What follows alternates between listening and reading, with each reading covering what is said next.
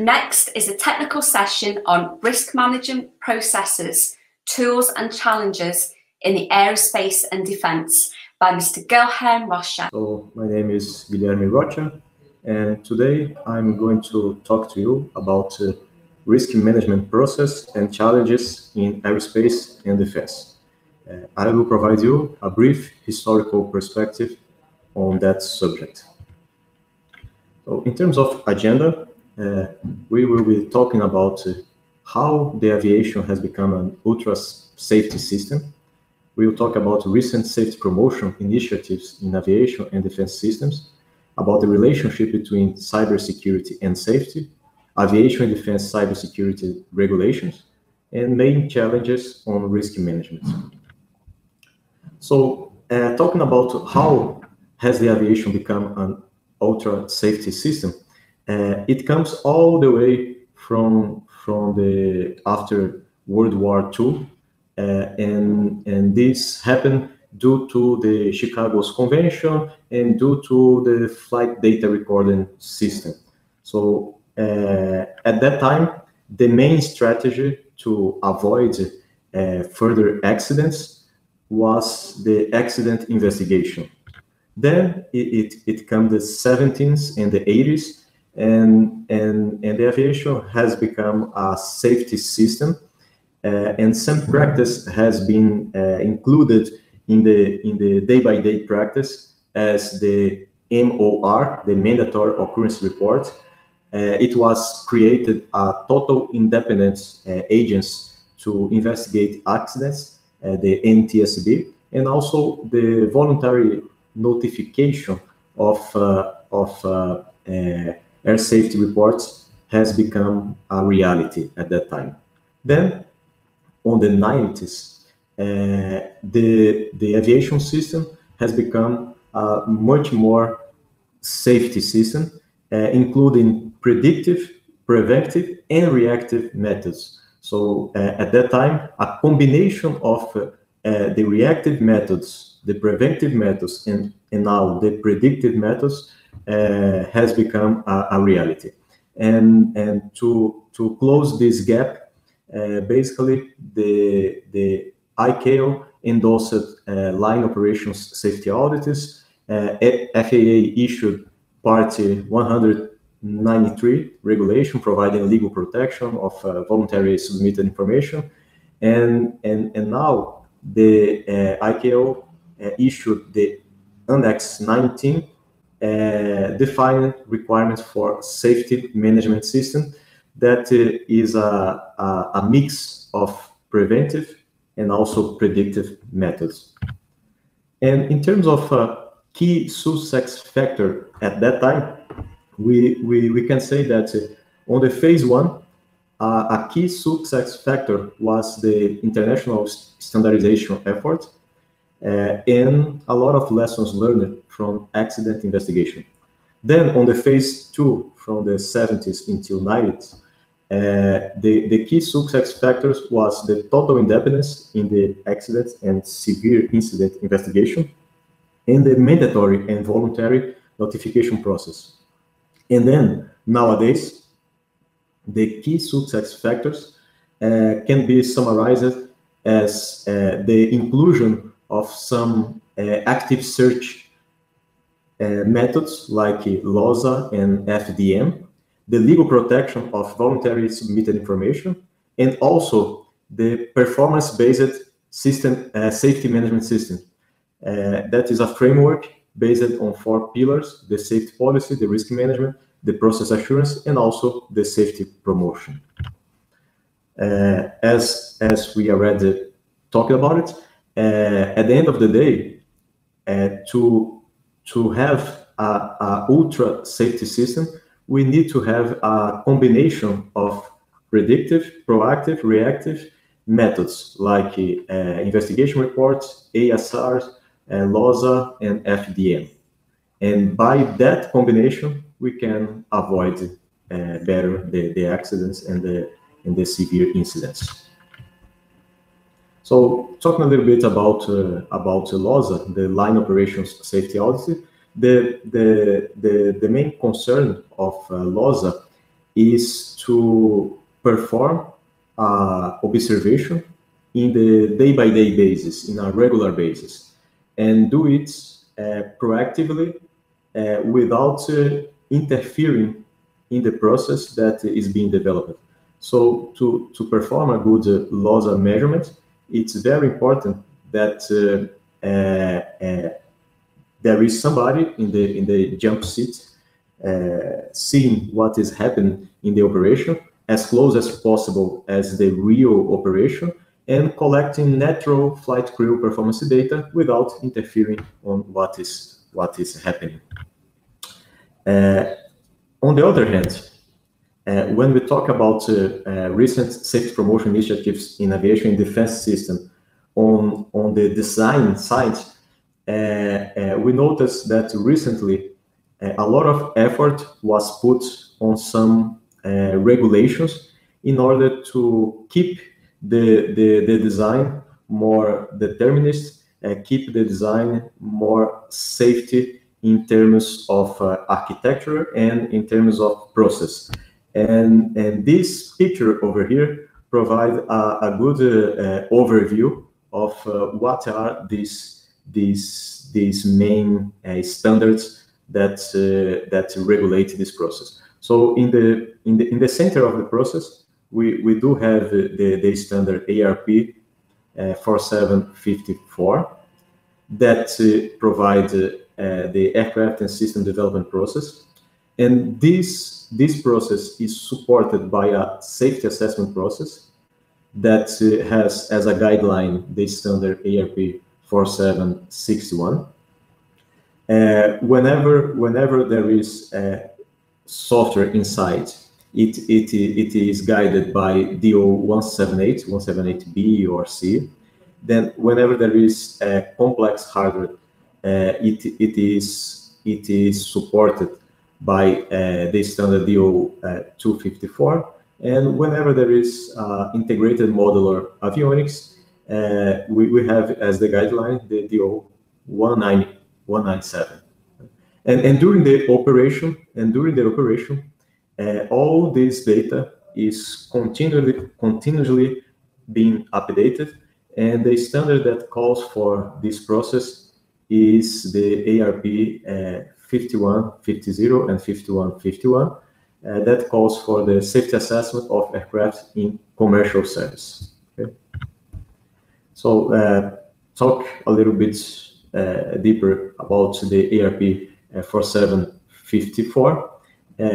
Uh, this standard has in its core the, the concept of the development assurance level, the DAL, and this development assurance level uh, can vary from level A, that is the more rigorous, all the way to the level E. And, and uh, it, it, will really depend on the top level failure condition severity classification.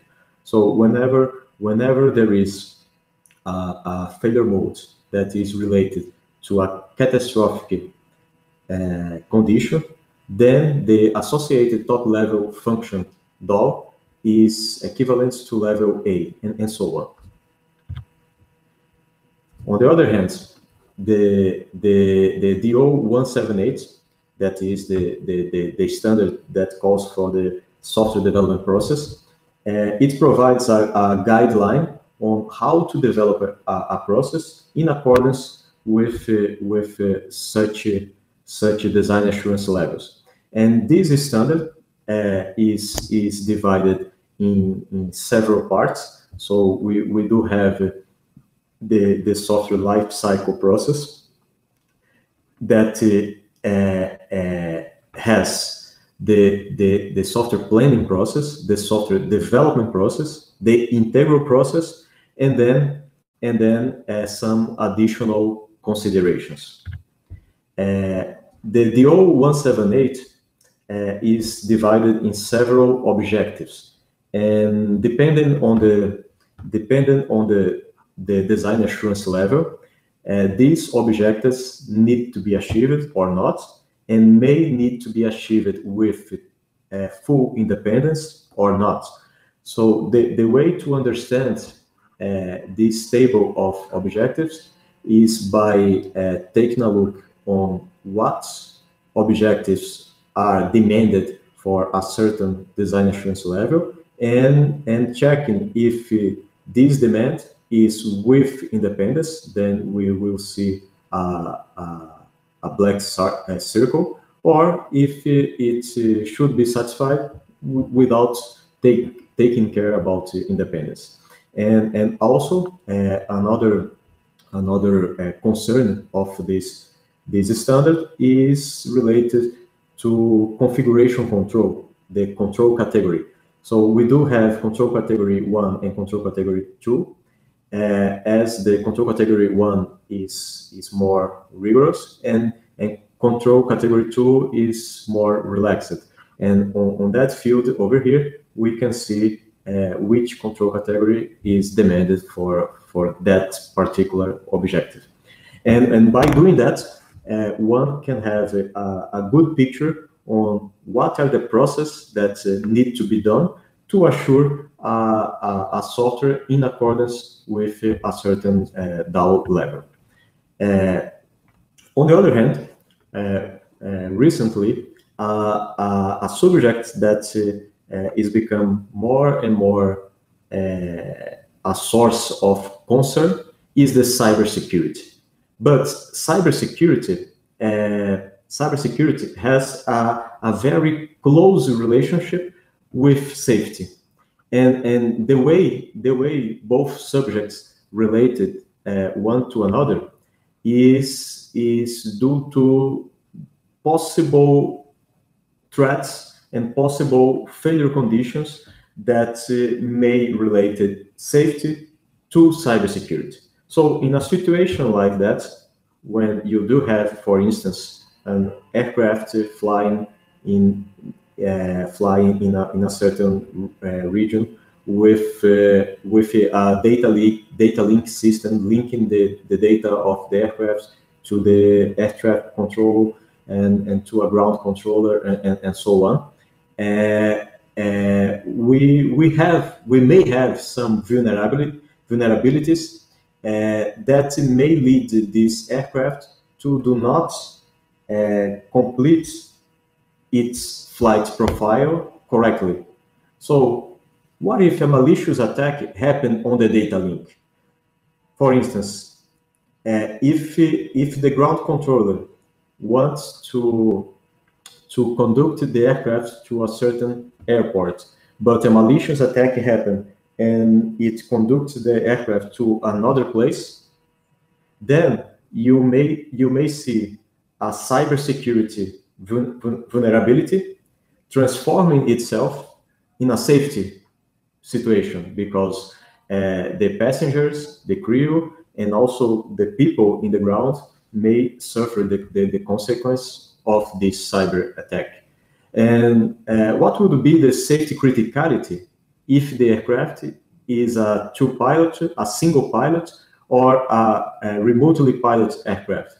And, and, and here we, we can see that depending on, on the situation, uh, uh, if the, the, the pilot is aware that something is not going well and, and can uh, counteract then the criticality may be lower.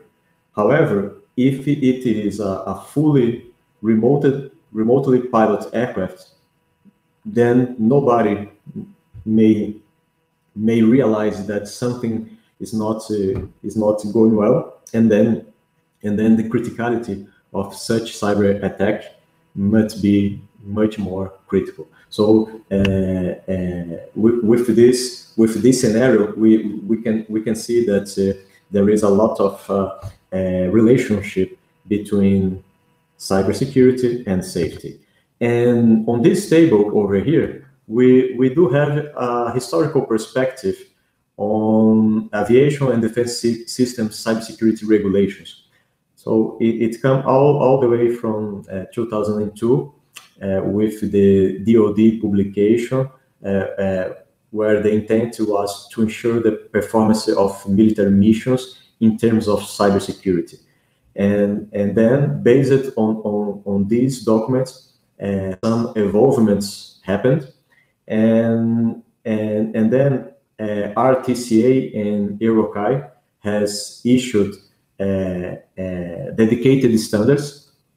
One one of them one of them is the DO three five six, and and and the other of them is the three two six and and these these standards the the, the 356 and the 326 on, on, the rtca side uh, was was related to provide uh, a, a, guideline on the airworthiness security process specification and also to establish and to define airworthiness security methods and considerations.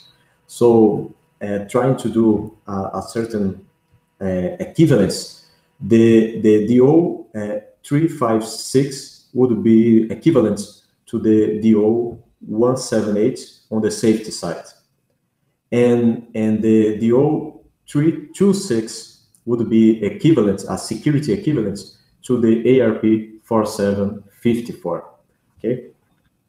And recently, in 2018, uh, RTCA and uh, has has done ha, have done a, a great effort to unify and harmonize the technical content of DO uh, 356 and the ED uh, 203. That is the EUROCAE equivalent of uh, DO uh, 356. Uh, to, to provide a, a, an overview of what is the content of DO uh, 326 and 356. We do have some, some slides over here. So in the in the DO uh, 326, the airworthiness security process, uh, uh, it, it, it is it is based on the security risk assessment. But the security risk assessment uh, in, in reality uh, uh, depends on the security scope and depends on a plan for security aspects of certification. And according to the security risk assessment, uh, we, we may identify several threats, and, and this risk may be acceptable or not. If, it, if the security risk is acceptable, okay, we, we, we compile all these risks in a, a PSECAC summary. If not, then we, we do have to continue the security development and, and do the effectiveness assurance. So here we, we, we put a, a, a oversight on, on what the standard is doing. So the, the, the, the step to do this, the security assessment uh, uh, starts from defining the subject, the interface, the actors, the functions, uh, and based on this analysis, we can identify the security threats uh, in a process that is quite equivalent to the failure conditions identifications on the safety assessment process. Uh, and then and then each security threat is evaluated in terms of impact. If it is a no set, no, no security effect, minor, major hazards, or catastrophic and and in a very similar way as as the as the safety standards uh, for the security threats we classify uh, each each threat in a SAL in a security assurance level. And and the SAL may may, may come from SAL zero where uh, we do do not have any any kind of effect in terms of uh, uh, security all the way to SAL 3, where the, the, the, the strongest security assurance is demanded because we, we, we do have the greatest vulnerability. Uh, here we, we, we, do have uh, uh, an overview of uh, uh, the, the security assessment matrix that's quite similar to the safety assessment ma uh, matrix. And and then we, we come to the DO at 356 that, as, as I said, is quite similar to the DO 178 uh, in, the, in the safety side for the software development. And in this standard, we, we do have some guidelines on, on uh, how to do the software development, uh, taking into consideration the security aspects. Uh, uh and one of the, the, the core concerns on the software development when you consider security aspects are the, the coding standards. And in order to to take care of uh, security coding standards, uh, we, we, we, may, we may take into consideration some initiatives that is happening in the world, like CERT and CWE. Uh, so these these institutions, the the the the, the CERT, for for instance, uh, uh, has the, the the the the aim to avoid defects on, on code by performing a coding standard. And, and, and this, this uh, standard uh, puts some common programming errors and, and put a highlight in these common programming errors so that uh, the developer uh, would avoid it. And, and to, to follow the standard, we the the the, the programmers uh, started improving the way they, they they really develop a software, and it's very good to uh, uh, have a, a, uniform way of programming, and and also it provides some guidelines to all the organization in order to go in the in the right direction. Uh, another another standard that we, we, we do have is the CWE, uh, and and it's an initiative from from MITRE, and and the CWE provides a unified measurable set of software weakness that is uh, uh, enabling more effective discussion, description, and, and, so on. The difference is that CWE is not only related to the software code itself, but uh, it's, uh, it is more related to the to the interfaces between the application, the database, the object code, the hardware, and so on. So uh, CWE uh, has a broader scope compared to, to, to CERT. And here in this table, I, I, I, I put uh, a, a, list of the, the 10 most dangerous software errors according to CWE. And you can see that some of these danger uh, uh, dangerous software errors are really not related to the code itself, but uh, to the relationship between the code and the database and maybe the so maybe the hardware and so on. So now we we do have a summary of the main challenges on risk management. So as as we were able to discuss on the presentation, the, the first one is the, that the safety assessment and security risk assessment need to be performed simultaneously. The second, that both system project and operational scenario need to be considered on the risk management effort. Also, international standardization effort is, is a, a, a strong demand. Uh, then Accident and severe incident investigation need to be conducted with total independence and faced as a source of lessons learned. Then the, the, the, the other challenge that we, we, we discussed that it is crucial to maintain a continuous process of active search for safety hazards and also for security threats based on audits and also on operational data analysis. So these audits are quite similar to the LOSA audits, and the operational data analysis are quite similar to the uh, flight data monitoring. Also, another challenge that we do have is to create a, a more harmonized framework for both safety and security management systems that, uh, that may put together both sides of, uh, of these aspects, safety and security. And, and, and also, uh, to finish it, uh, the legal protection of voluntary submitted information is fundamental to conduct a, a good analysis on both safety and security.